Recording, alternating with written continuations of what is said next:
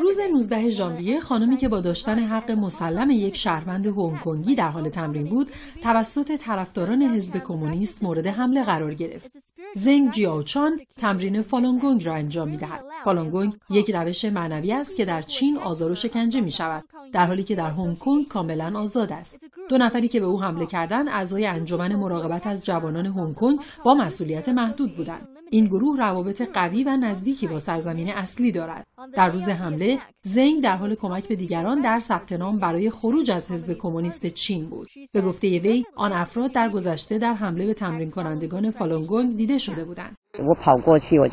دویدم تا از اونا عکس بگیرم او اجازه نداد عکس بگیرم و با تختهای به من ضربه زد. سعی کرد به صورتم مش بزنه. به همین خاطر به اون پشت کردم و با دستام از صورتم محافظت کردم. اون شروع به ضربه زدن به دستام کرد. زنگ پلیس را از این حادثه مطلع ساخت. افسران پلیس رسیدند و حمله کنندگان ادعای دوستی کردند و ادعا کردند که آنها نیز مورد ضرب و شتم قرار گرفتند. زنگ می‌گوید پلیس هنگ کنگ باید این اتفاق را مورد بررسی قرار دهد تا سایر شهروندان هنگ کنگ صدمه نبینند.